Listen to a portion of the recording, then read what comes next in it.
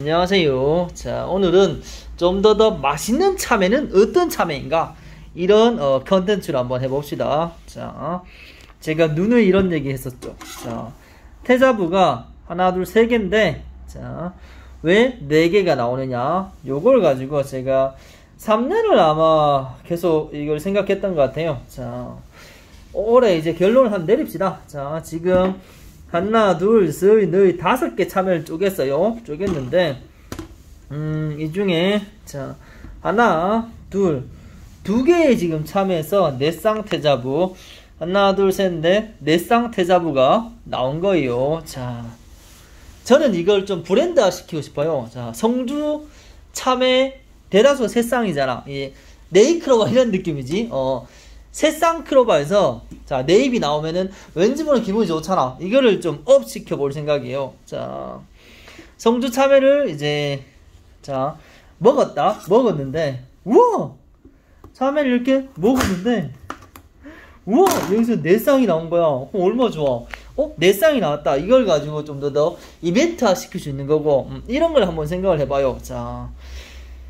어, 네잎클로바의 또 새로운 느낌, 음, 네쌍 참외, 네쌍 태좌부, 요거를 좀더더 up 시킬 겁니다. 그러고 진짜 네쌍이 나오면 더 경도가 좋아요. 왜? 세포 분열이 많이 됐다는 얘기니까. 자, 어, 네쌍 참외의 가장 큰 장점은 경도가 좋다. 그리고 어, 뭐 맛이나 이런 것좀 다른 개념, 개념이지만 일단 경도 하나만큼 달라. 그래서 제가 잘 짓는 농민들 위주로 이제 농가에 가서 좀 많이 실험을 해봤었지. 그리 확실히 좀 시세 잘 받는 분들이 이 내쌍이 많이 나요. 내쌍 태자부. 자, 이분들은 전적으로 지금 제 걸 쓰는 분들이에요. 자, 이분들 봐봐요. 물론 제 걸 써도 안 나올 분도 계셔. 왜? 물질인 것 같아. 물질 여하에 따라 이 태자부 생성이 세포 생성이 좀 틀린 것 같아.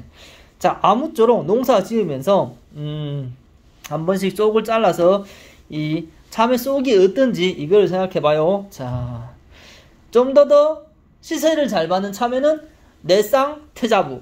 좀 더더 어, 맛있는 참외는 내쌍 태자부. 아, 좋다. 음, 이런 느낌을 한번 띄워 봅시다. 자, 저만 띄우면 안 돼. 같이 띄워야 돼. 이런 성주 참외 새로운 행운의 브랜드, 뭐 행운의 느낌 이런 거 좋잖아. 어, 이런 걸 계속 개발해야 돼요. 왜?